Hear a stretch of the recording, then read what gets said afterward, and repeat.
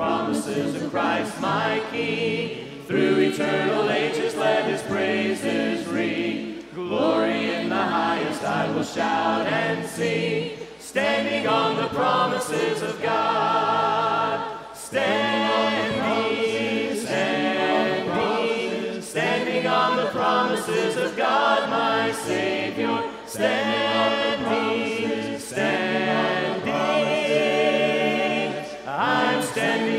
the promises of God. Standing on the promises that cannot fail.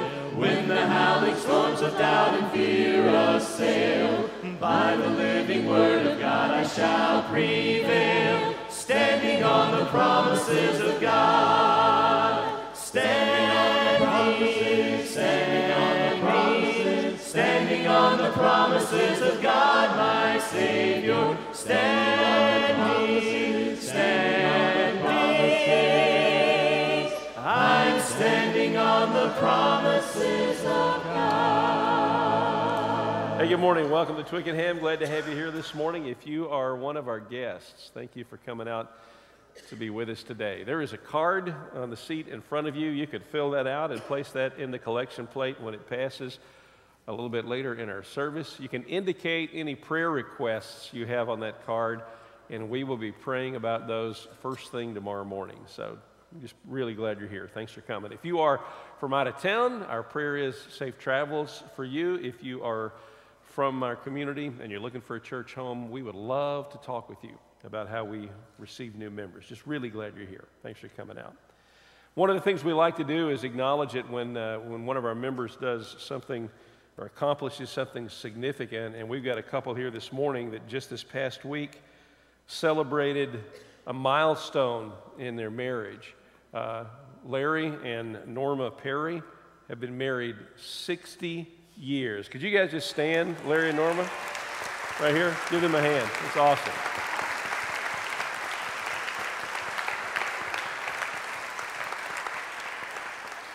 That's a combined 120 years of marriage when you think about it that way. That's a long time. So, congratulations, guys. And for all of us who've only been married 10 or 15 or 30 or 50, it can be done. Just hang in there, all right? It can be done. Hang in there. Hey, let me ask you to stand up. Let me share a, a, a quick verse with you here. We have a lot to do today, a long way to go. So, this is a great passage for us to begin to think about our time of praise together. It's from Isaiah chapter 6. Isaiah has witnessed something that's terrified him. Turns out it will be something that really uh, will bless him and will bless all of us. He sees the Lord and he hears these incredible beings, and they are crying out what we're going to try and cry out this morning Holy, holy, holy is the Lord Almighty. The whole earth is full of his glory. Let's praise the Lord for his glory this morning. We believe in God the Father. We believe in God the Father. We believe in Christ the Son. We believe in Christ the Son. We believe in the Holy Spirit. We believe in the Holy Spirit. We are the church and we stand as one. We are the church and we stand as one. We believe in the Holy Bible. We believe in the Holy virgin birth. We believe in the virgin birth. We believe in the resurrection. We believe in the resurrection. Christ one day will return to earth. Christ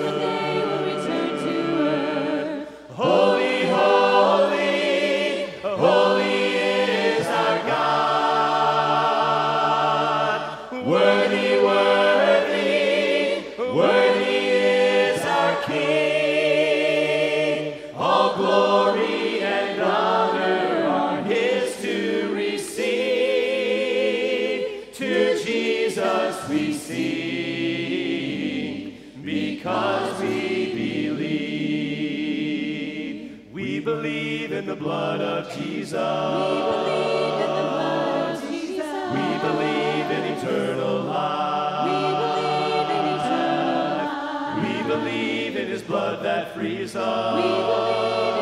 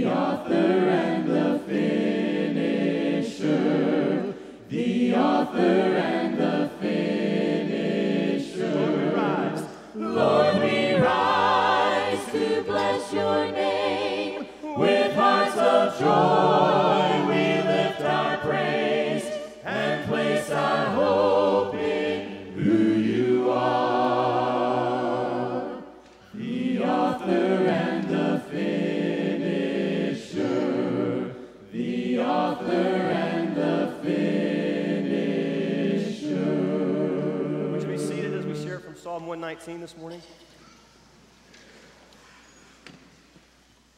How can a young person stay on the path of purity? By living according to your word. I seek you with all my heart. Do not let me stray from your commands. I have hidden your word in my heart that I might not sin against you. Praise be to you, Lord. Teach me your decrees. With my lips, I recount all the laws that come from your mouth. I rejoice in following your statutes as one rejoices in great riches. I meditate on your precepts and consider your ways. I delight in your decrees. I will not neglect your word. Your word is a lamp for my feet, a light for my path. Thy word is a lamp unto my feet and a light unto my path.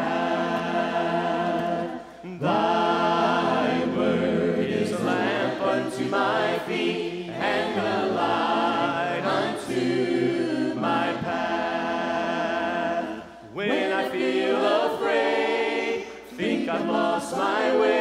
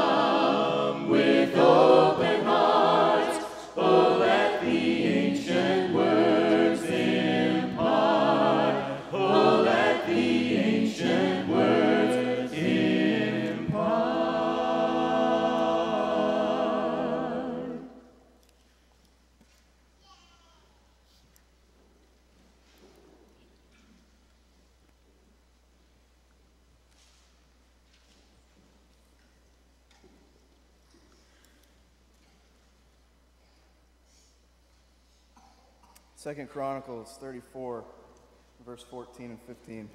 While they were bringing out the money that had been taken into the temple of the Lord, Hilkiah the priest found the book of the law of the Lord that had been given through Moses. Hilkiah said to Shaphan the secretary, I have found the book of the law in the temple of the Lord. And he gave it to Shaphan. Skipping over several books to John chapter 1.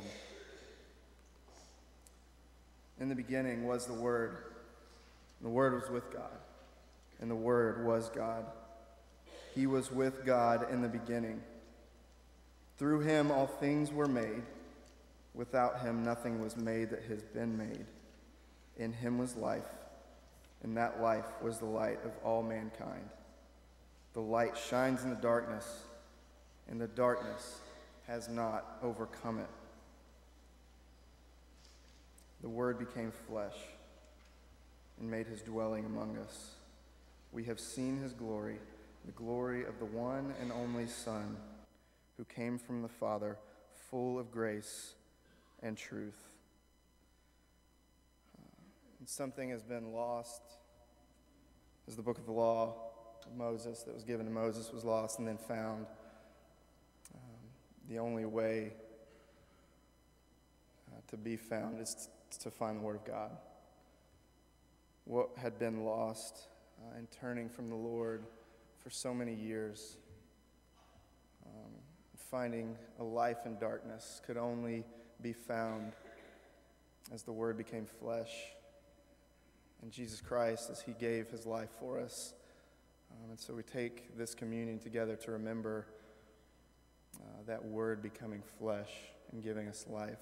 What once was lost is now found. Pray with me. And God, we, we praise your name. Um, we worship you and we rejoice and come together uh, to take part in a meal with you and with each other.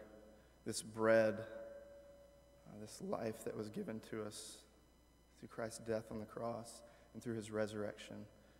Uh, we remember now and we praise you for. God, may we take this and only think of you. It's in your son's name we pray. Amen.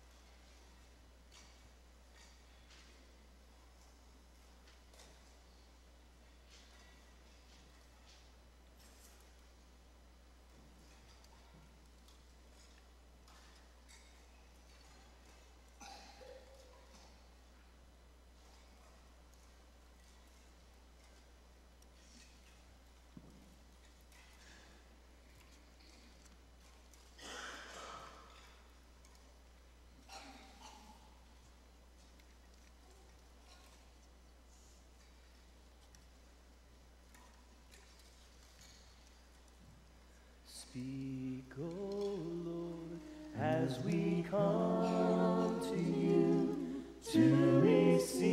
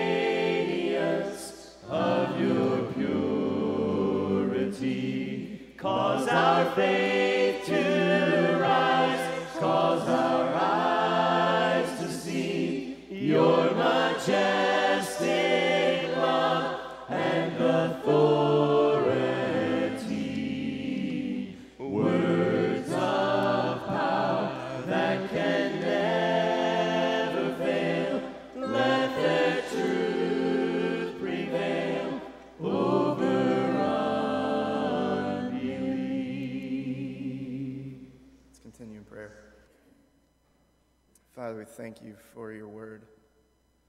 Thank you for the truth in it, um, the life that we receive from it. God, and the, the way that Jesus uh, was made into flesh uh, to show us what these words were and how much they meant for us. God, for coming down to this earth and for dying for us, for shedding his blood that would cleanse us from our sin and from our brokenness and renew and restore a relationship with you. And we thank you for that and for the word that brings us closer to you. Um, we continue this meal and rejoice and celebrate in the truth we receive from your word. It's in his name we pray. Amen.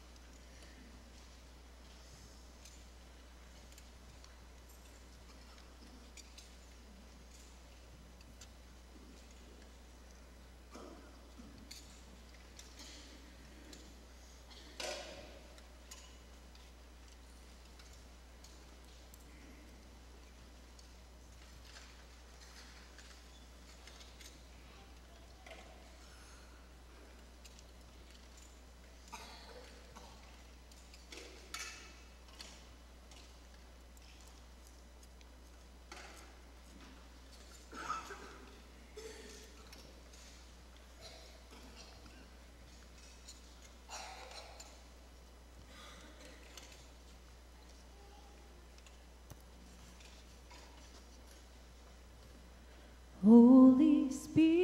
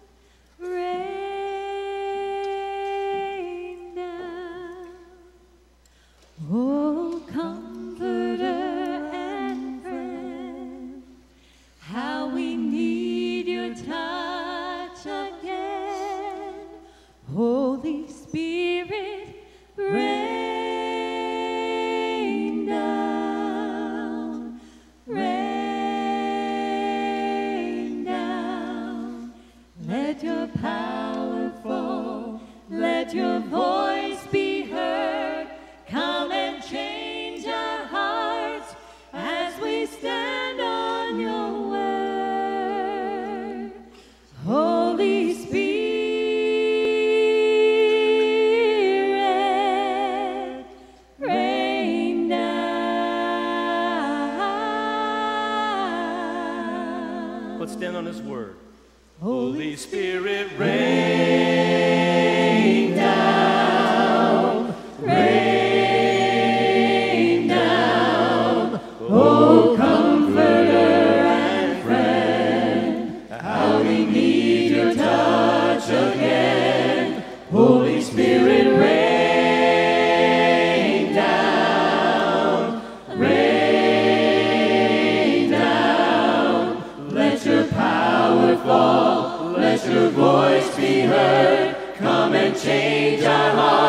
As we stand on the word.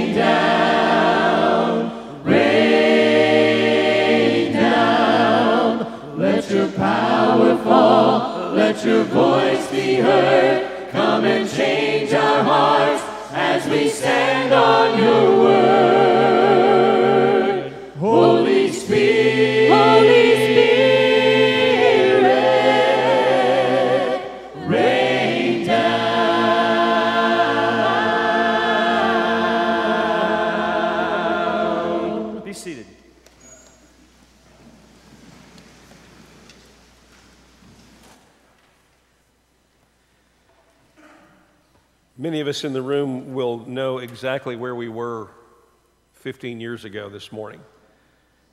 I was in a conference room at my office with my colleagues, watching the news, overwhelmed at what we were seeing, not knowing how to make sense of it. You'll remember where you were on September 11th, 2001, when the World Trade Centers were destroyed. It was a very trying time for our nation, and it's still a painful memory for a lot of us. There are many people in this room that uh, are either in the military or retired from the military. There are a lot of us here who are first responders or who have loved ones who are first responders. Those are the folks that rush toward the smoke and fire while the rest of us run away from it. We're also part of a country that is genuinely blessed to have the kinds of freedoms that we enjoy. We're not perfect by any stretch of the imagination, far, far from it. But in the United States, it doesn't matter who you are. It doesn't matter your gender. It doesn't matter whether you're, whether you're wealthy or poor. It doesn't matter whether you believe in God or not. it Doesn't matter your orientation, you can find respect here. It May not always come easy, may not always be perfect, but more than any other place on the planet, in the United States, you can find that. We need to be grateful for that. We need to be humble about it. And we need to remember those that have died to protect that and times when that has been threatened and those who responded to that. I want to ask you just to take a minute and think about uh, where you were, the events during 9 11. I'm going to close this with a prayer, okay? Let's just take a moment of silence.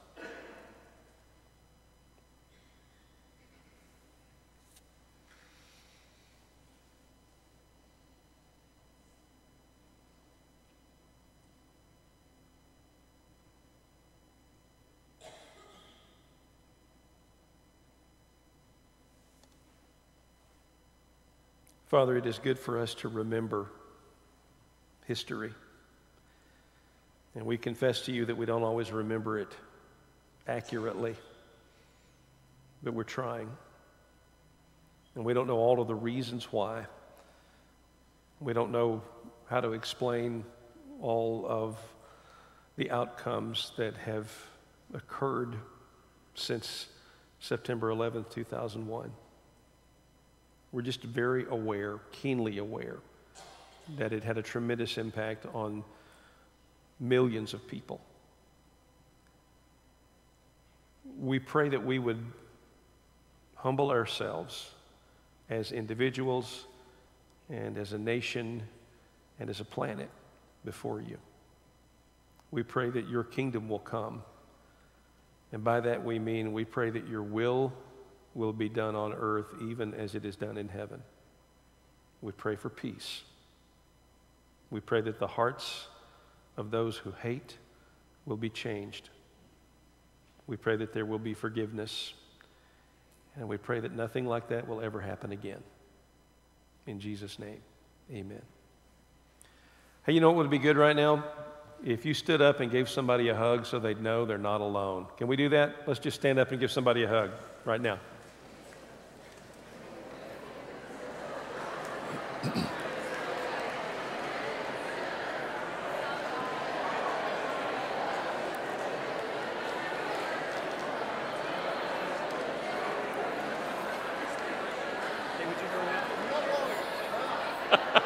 you said you were long.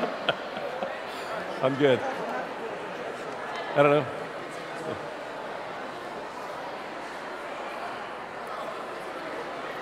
Okay, that's enough.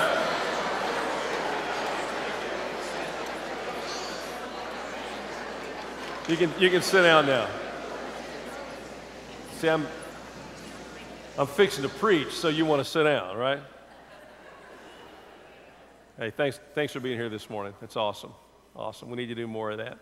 Can I just, just out of curiosity, I'd, can I see the hands of the people who love to go to yard sales? Can I just raise your hand for just a second? I want to see. Okay. A lot of folks in the balcony. My balcony people like yard sales. I love yard sales. I love yard sales, thrift stores. Sometimes, actually, we drove by a yard sale yesterday and didn't have time to stop, so I just threw money out the window. So just to let them know, right? I love yard sales. When I was uh, in college, I bought a sweater at a yard. Of course, now if you're in college, this is you should know this because it's coming. Okay, when you're in college, yard sales are your friend, right? So I was uh, when I was in college, I bought a sweater at a, at a yard sale for a quarter, and I wore that sweater all. It's the best sweater I've ever had in my life for a quarter. It was wool. It was gray and white, like a ski sweater. It just I looked so cool in that sweater, and it only cost me a quarter. So I just I love yard sales. I love thrift stores. But now take a look at this. This is a sweater that some folks in Illinois purchased at a, a thrift store for 50 cents. Do you notice the name in the right there? That was verified, Uh, authenticated as belonging to famed football coach Vince Lombardi. They bought that for, my sweater was great. This one's better. Okay? Because they sold it for $43,000.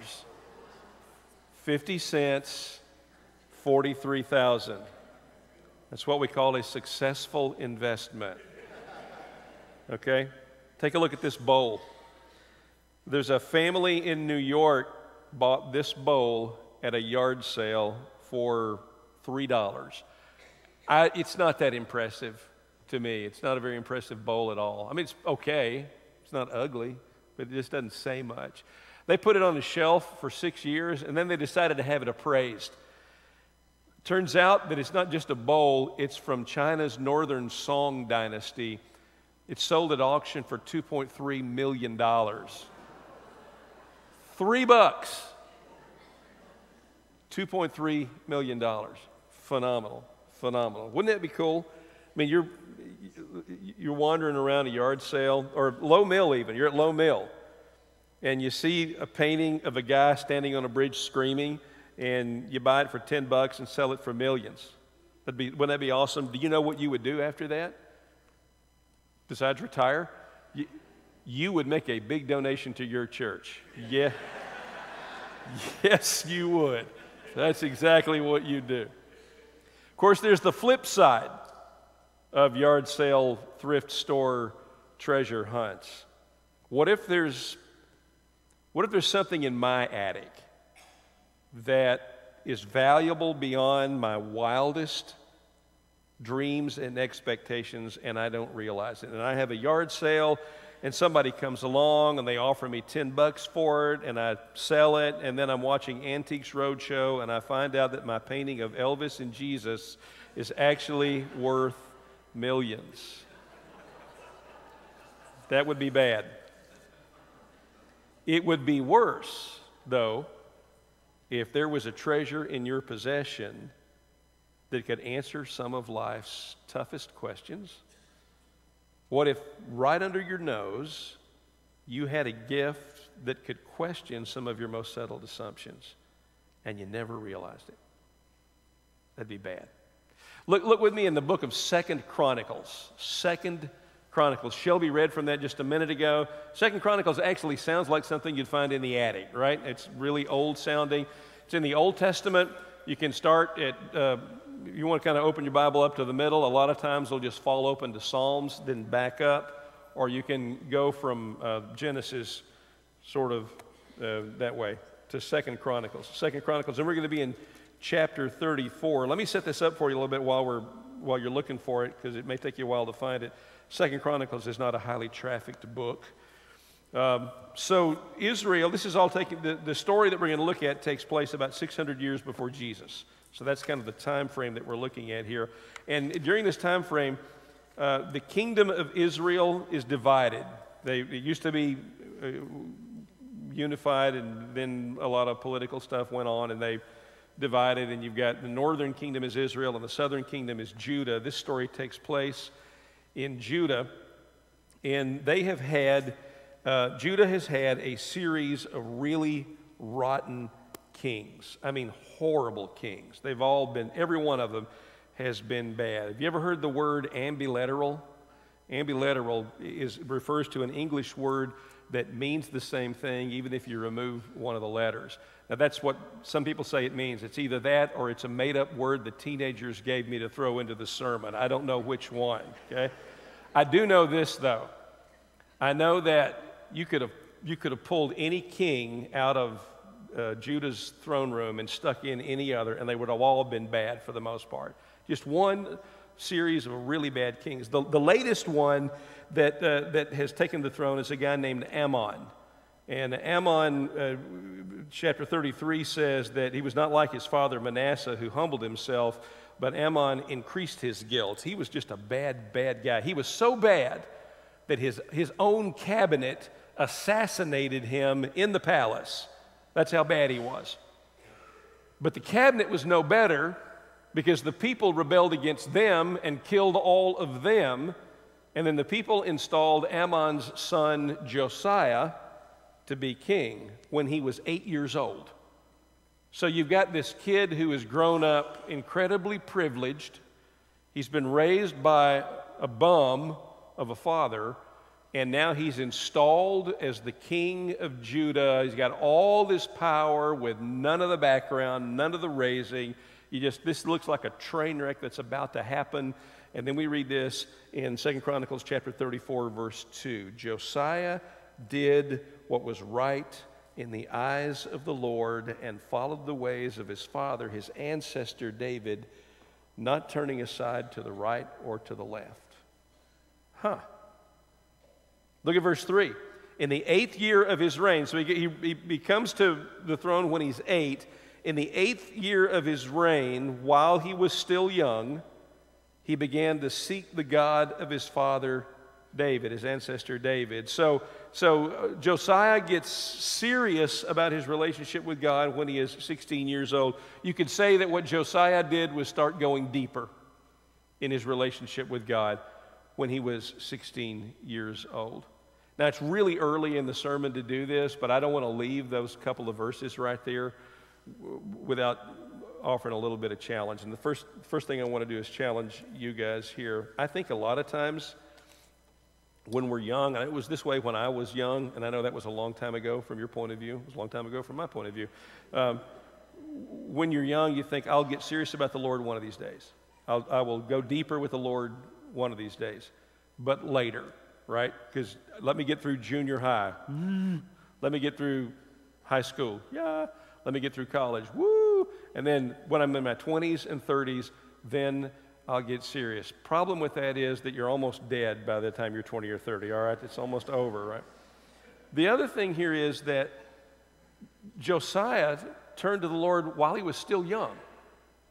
And, and then David did the same thing, and Jesus did the same thing. Solomon even says in the Bible, Solomon says, Remember your Creator in the days of your youth which is interesting that he says that because we've done studies now, our, our religious scholars and our sociologists have done studies on people your age, and what they found out was that the time in life when people are most receptive, most ready to turn to the Lord is where you are.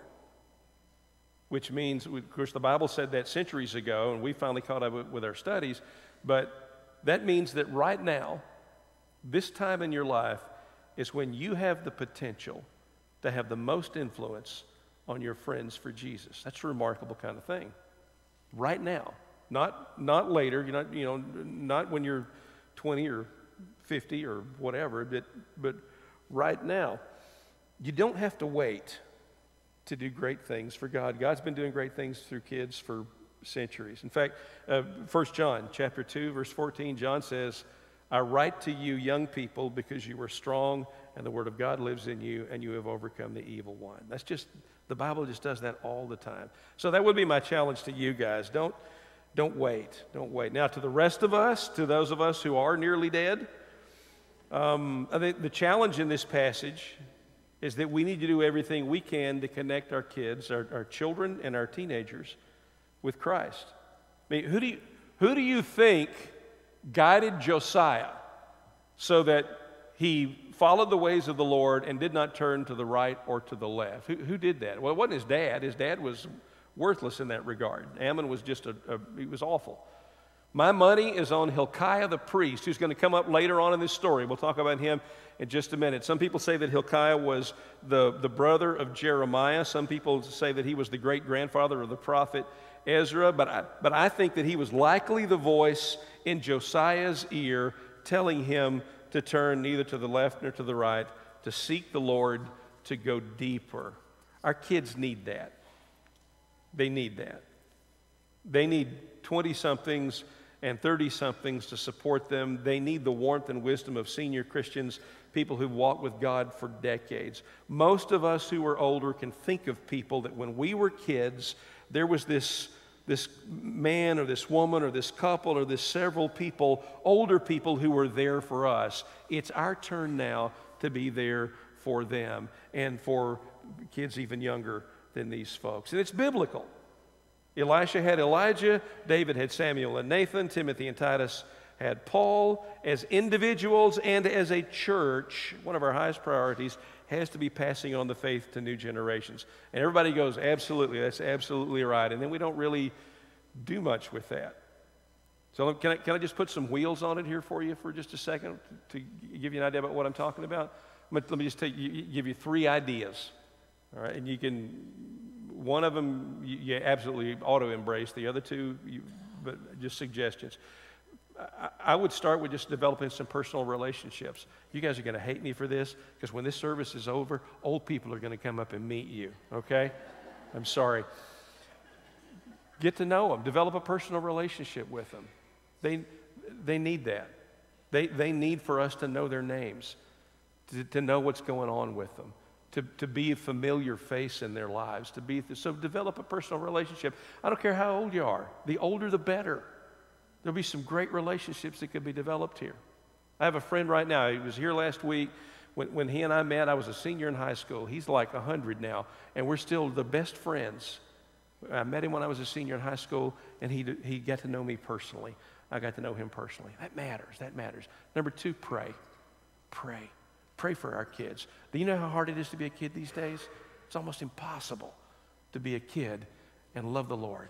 But it can be done. Kids are doing it. These kids are doing it. Pray for them. And, and as you get to know them personally, you can know very specifically what to pray for them. You can pray really targeted prayers for them. But I would encourage you to get to know them personally, Pray with them, pray for them all the time. Now, here's the third one, and some of you are going to go, Oh, I can't believe you said that. And it's going to be, I'm, and I'm, all, I'm just trying to put a thought in your head, okay? Just an idea. You may not be in a position to do it, it may not be your thing. That's okay, all right? But if this makes you uncomfortable, that's kind of my job, right? Okay.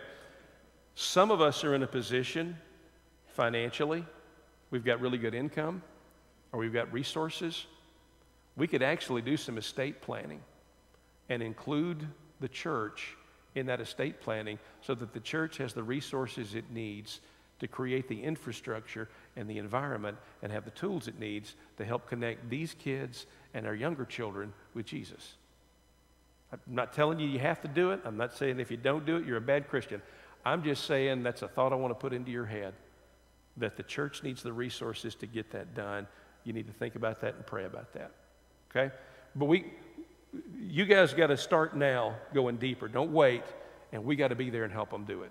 Okay, that's where that, that's where all that I think is going. Okay, so back to the sermon. Now, uh, at 16, Josiah begins seeking the Lord. That period of going deeper goes on for about four years. When he's 20, he starts getting rid of all of the idols the people had been worshiping. That's what verse 4 in Second Chronicles 34 is about. It says he, he destroyed the high places. The high places were where they had their pagan worship services. So he's getting rid of all that, pagan worship sites.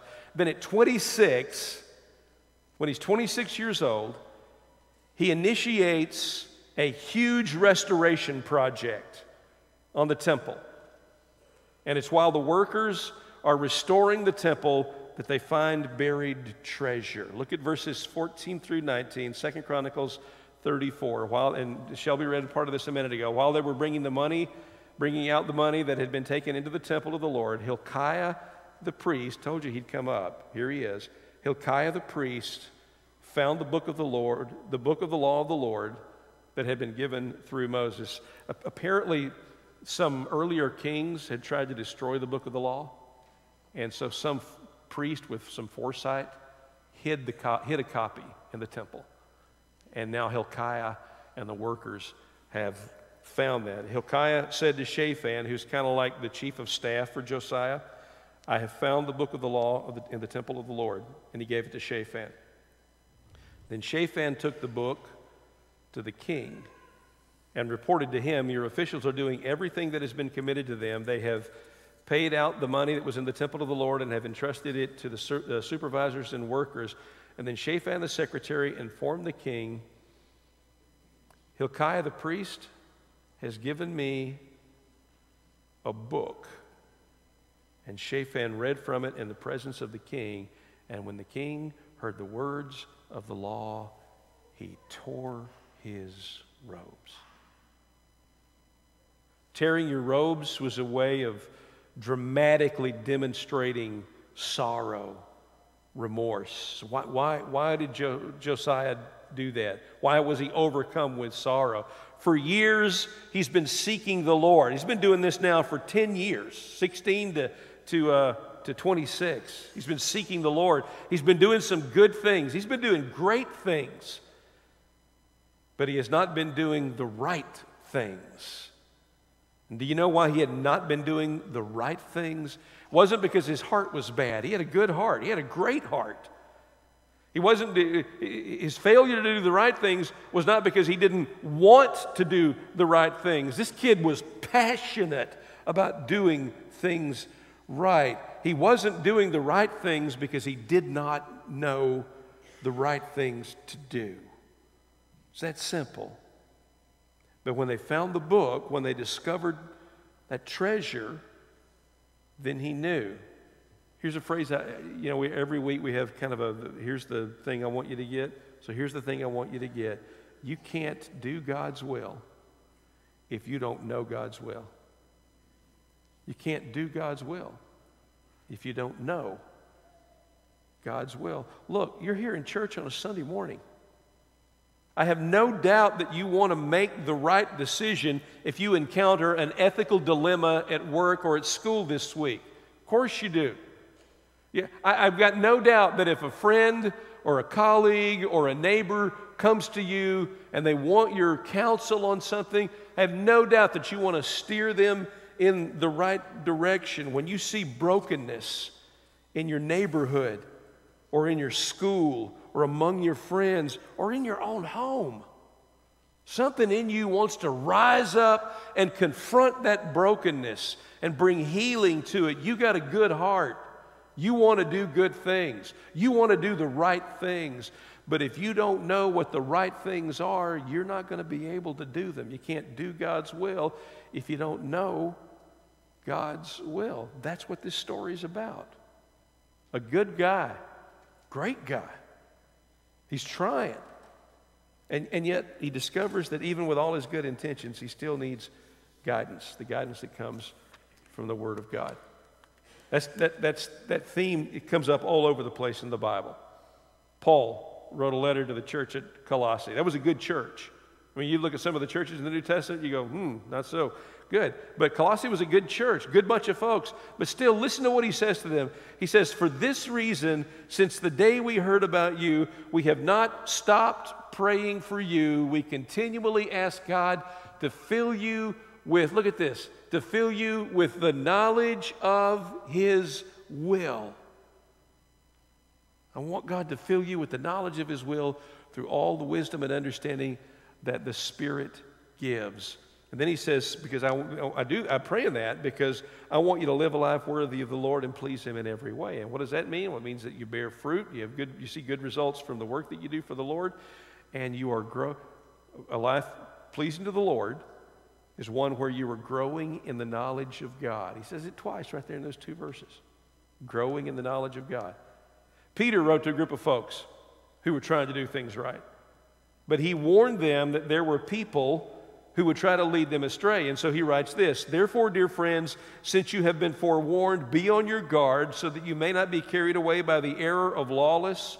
Uh, of the lawless and fall from your secure position. Look at verse 18. But grow in the grace and knowledge of our Lord and Savior Jesus Christ. To him be glory both now and forever. Amen. I love the phrase that both Paul and Peter used grow in knowledge. Grow in knowledge. They're not telling us that we need to get advanced degrees in Bible. They're just saying you need to grow. Where, wherever you are in your knowledge of, of Scripture, go a little further today than you, than you did yesterday. Whatever you know, learn a little more. If you want to go deeper in your relationship with God, grow in knowledge of God's Word. Eh, can I just tell you one way to do that? I mean, we kind of put wheels on this idea of, of, of you guys starting early to turn deeper to the Lord and then us being there for you. Let me put some wheels on this idea of growing a little deeper. And you're going to, when, when I say this, you're going to go, oh, come on, man. Are you serious? Sunday school. It, that sounds like, you, come on, really? Sunday school? I mean, that's like ancient.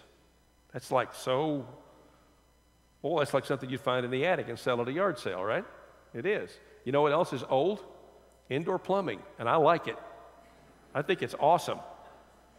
Some things stick around because they, they work. Sunday school is one of those things. Look, we have people teaching classes that have that really do have advanced degrees in Bible, people that have walked with the Lord for decades. We, we can learn stuff from them. I was in a class this morning and learned some stuff in that class.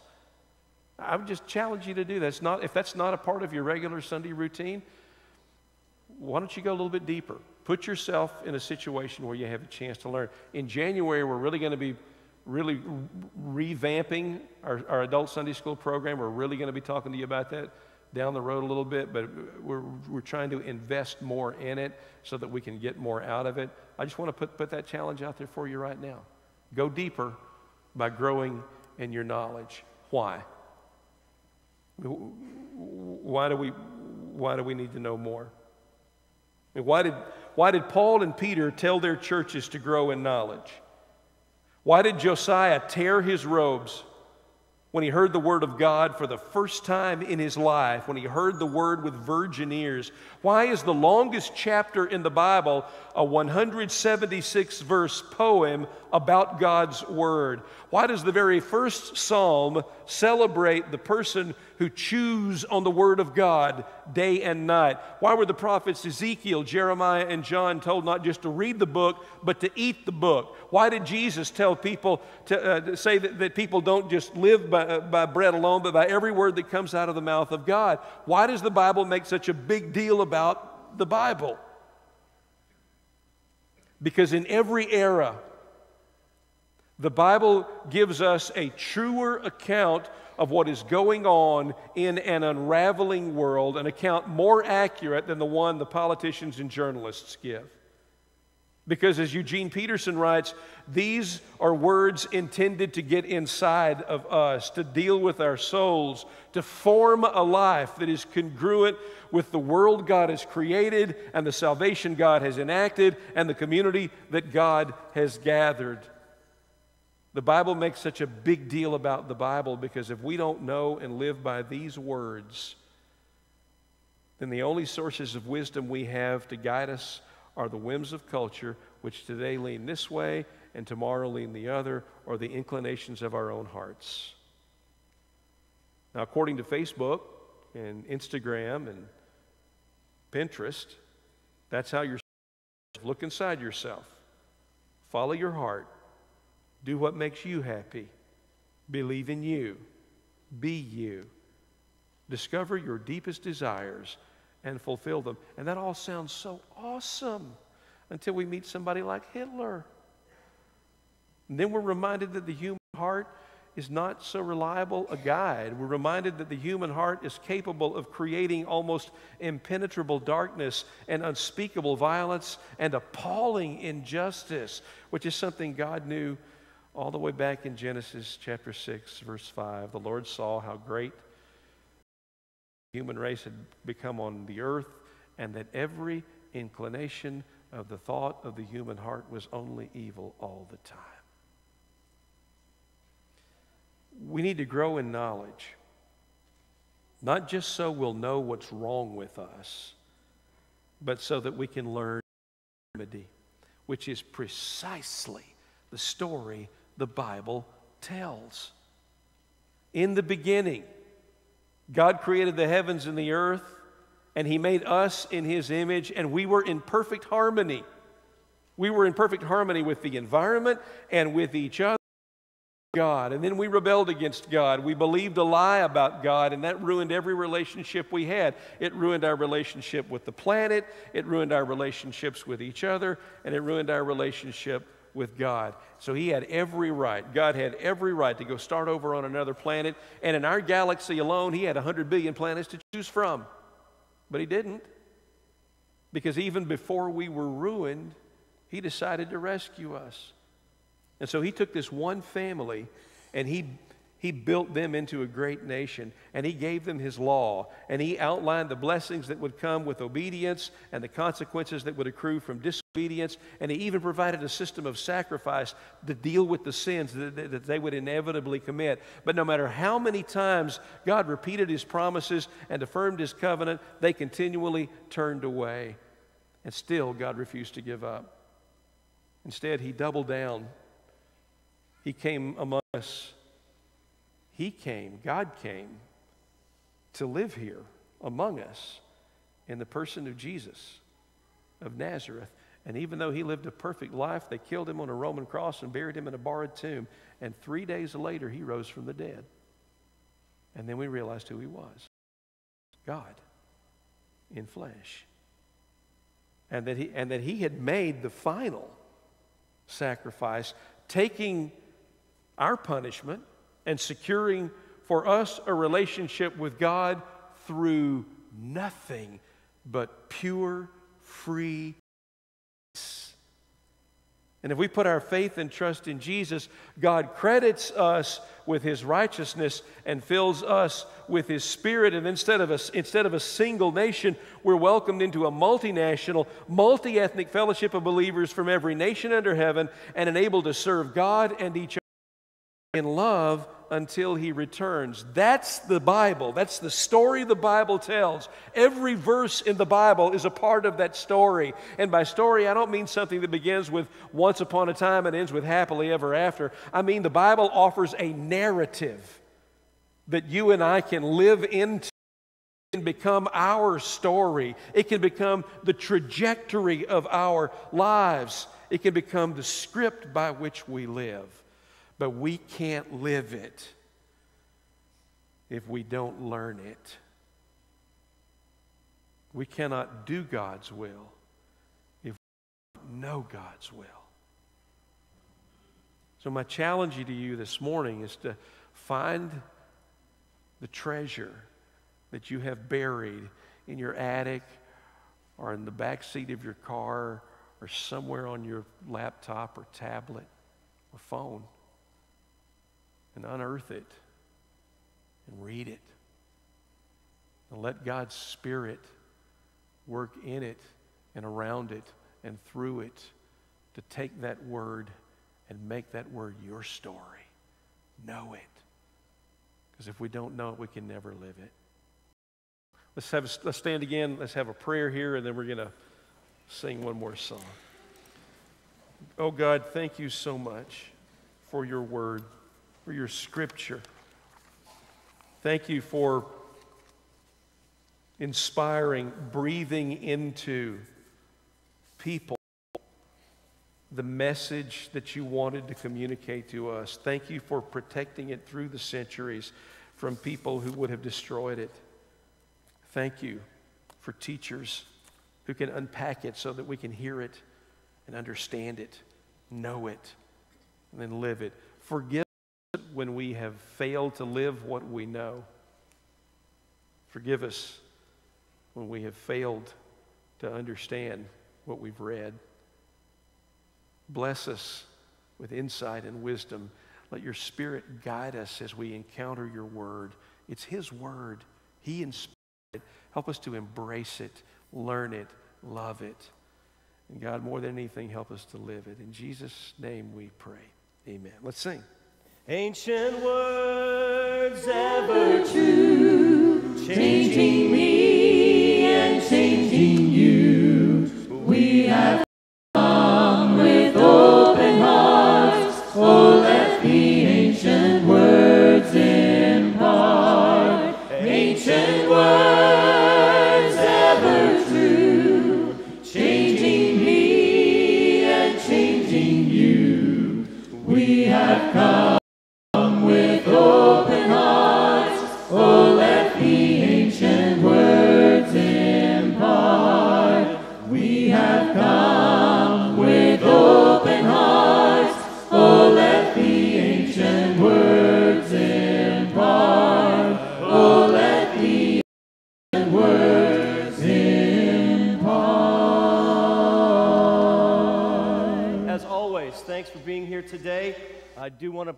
attention again to your bulletins. Remember, there are several upcoming events. Par Golf Tournament is coming up. The 39ers have an event this week. Tonight, we'll be back here at 5 for the spring. Come back and join us for our instrumental praise and worship time. Fall small groups are kicking off. Outback America's coming up. A lot of good information in there. Uh, again, thanks for being here. We hope you have a great day, and we'll see you at 5 o'clock. Let's close in prayer.